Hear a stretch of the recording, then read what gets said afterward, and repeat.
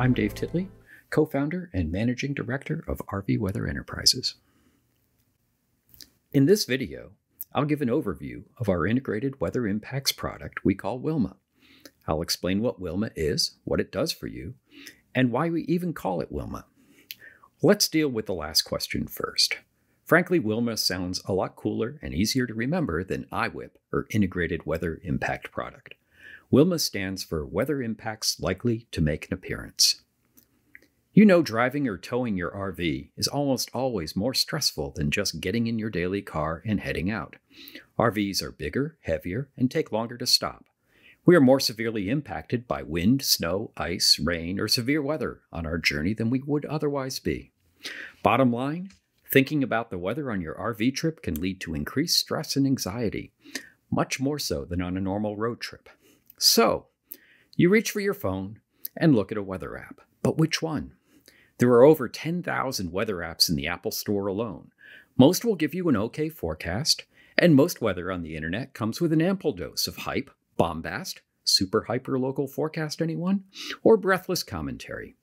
Entertaining as that may or may not be, none cater to RVers heading down the road.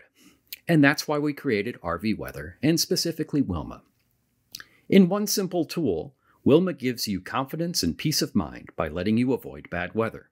It removes weather stress and anxiety. You save time and reduce your workload by using one all inclusive weather product in place of multiple weather apps and websites. You know what days will be good travel days and what days will be more challenging. You're in control and can decide in advance if you are comfortable with the forecast weather impacts or if it's best to alter your travel day or route.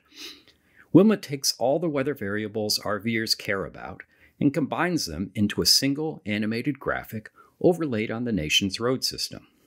Whether you are planning a trip or already on the road, Wilma shows you the weather impacts you can expect for the next eight days. Interested in subscribing to Wilma? Go to rvweather.com and click on Pricing on the menu.